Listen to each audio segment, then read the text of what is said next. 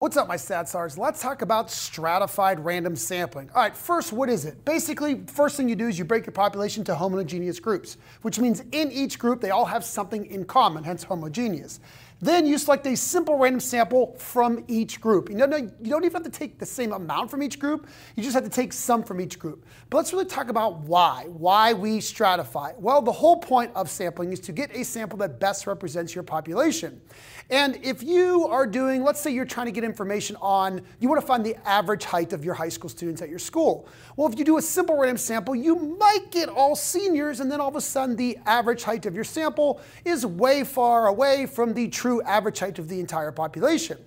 So if we say, well, listen, we want to make sure we get freshmen, sophomores, juniors, seniors, then you're going to stratify.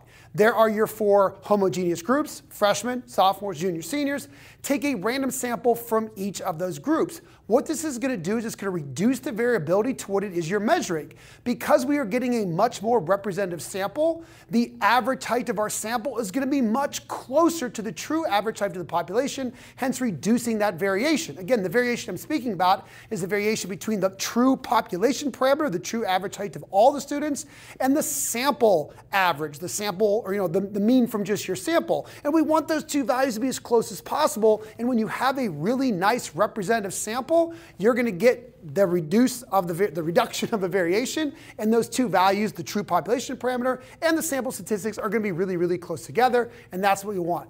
Now, the other important thing you want to think about when you're stratifying is what variable do I stratify on? You want to make sure you're choosing a variable that matters to what it is you're asking. In the previous example, it made sense that older kids are going to be taller, freshmen are going to be shorter, so it made sense that I wanted to get some kids from every single grade level because that variable matters when it comes to measuring height.